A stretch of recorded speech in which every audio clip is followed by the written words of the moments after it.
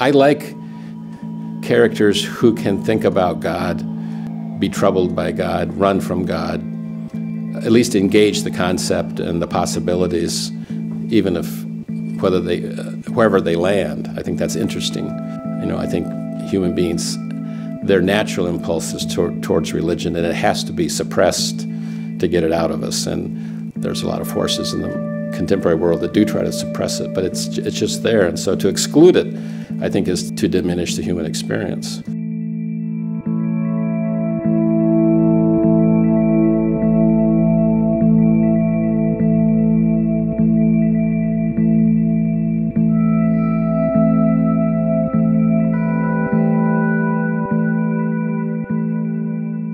You know, I would love to write fiction that uh, takes religion seriously, which I think not very much contemporary literature does.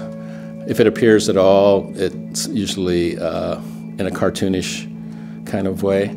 There is a way in which writers and just people work out their life through their writing and their own questions. So I've written, you know, books that are manifestations of my own str- uh, struggles or uh, thoughts about faith and doubt. I mean, I do think I have an inner atheist. So every, every, which I don't want anybody to be frightened that I'm demon possessed, but it's a part of my mind that when I, when the faith part of me says, you know, I affirm this, the atheist says, well, what about that?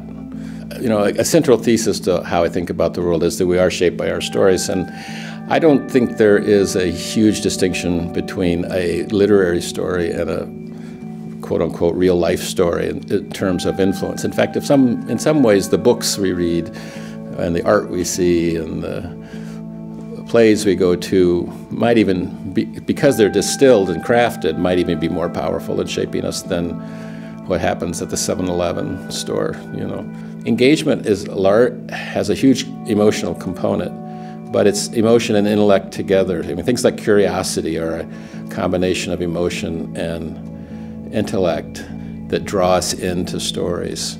So the whole brain, the whole person is working in a good story, including the body. You know, we have, you know, physical reactions to stories as well as intellectual, emotional, and will all, all impacted. And that's why stories are so powerful, is because they appeal to the whole person.